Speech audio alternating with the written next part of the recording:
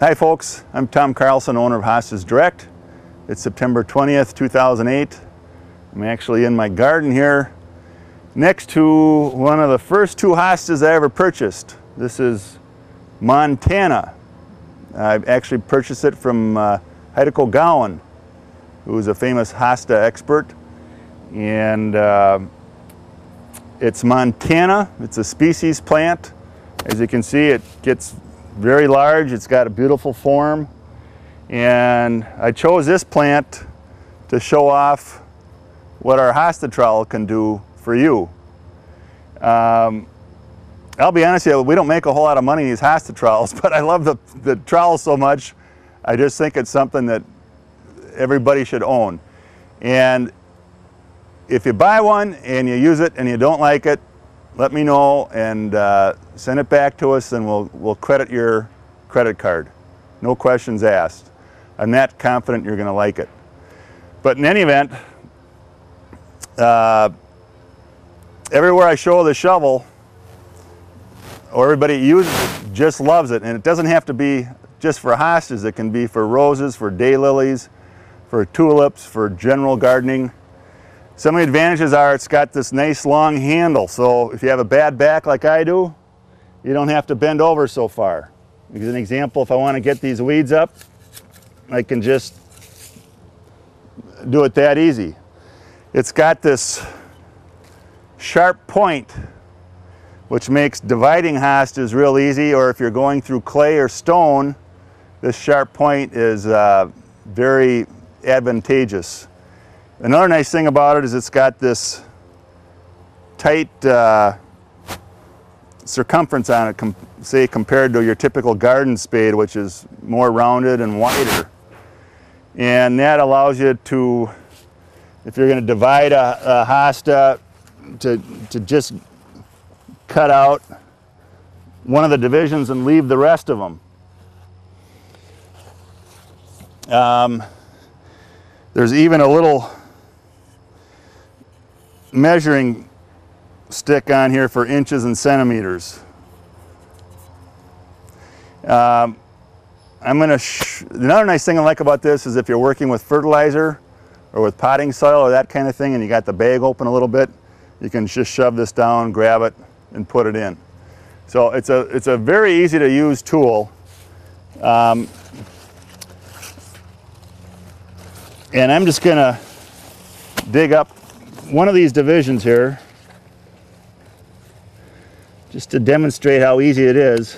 I don't know if the camera can see this, but I'm going to take this chunk of the hostas right here.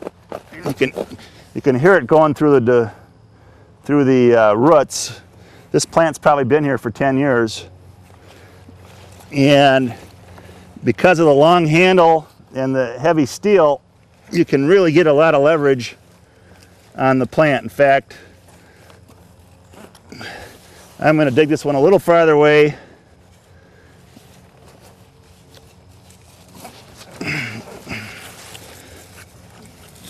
and try and save more of the root.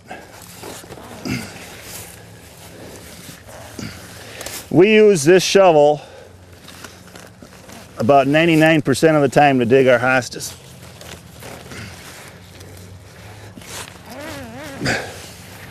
Now you can see these roots go down a long way and now I'm going to use the leverage of the shovel to get it out. Boy, these are big roots.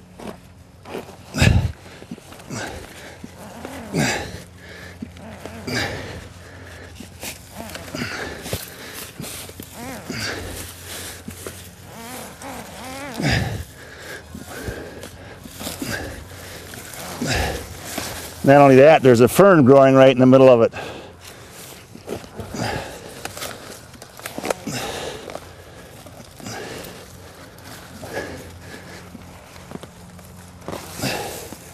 But you probably couldn't have done that with your regular old garden spade.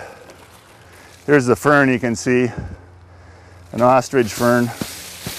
And then you can hit it with this round point of your handle so you don't damage your roots so much. And if you want to divide it again, by the way, these are uh, hostas we would ship to our customers. They're nice big hostas like this. This one I think I'm gonna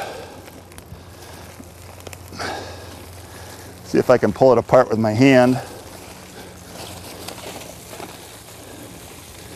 Now normally what we do is we would take a hose and wash this out and remove the roots by, separate the roots by hand.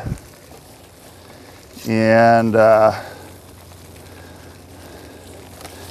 I'm just gonna do it without using the water. Here's a big bud for next year. If you can see that, it's next year's crown. And there's another one. So anyway, hope that gives you an idea as to what the uh, shovel can do. We uh, removed a couple big chunks without damaging the rest of the plant. And then I would just cover that with soil, maybe tap it down just a little bit and water it. It's a heck of a deal, folks.